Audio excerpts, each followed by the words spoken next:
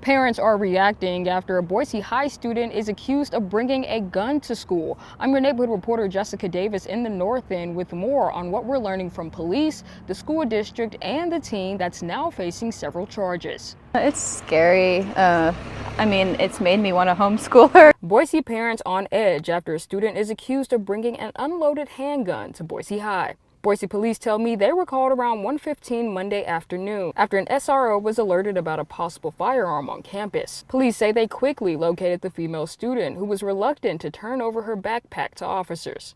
Once police searched her bag, they say they found an unloaded handgun inside. I asked North End parents how they feel about what happened. I don't want my job to be being a protector. I would rather just be a teacher, and I think that's really an unfair role for all the teachers and administrators to have to take that on. Georgia Cashin tells me she once aspired to be a teacher. She went to Boise High and remembers a bomb threat on campus when she was a student. Those threats pushing her away from a career in the classroom.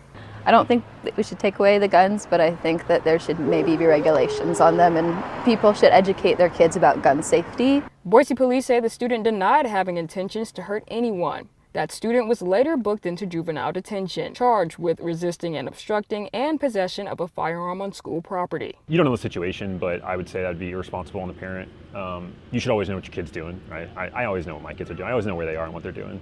Um, yeah, and so minors obviously shouldn't have access to you know, to, to guns that way. BPD says the school did not go into lockdown because they were able to find the students so quickly. The school principal sent an email to Boise High parents Monday, reassuring them all students and staff are safe and there's no ongoing threat to our school community.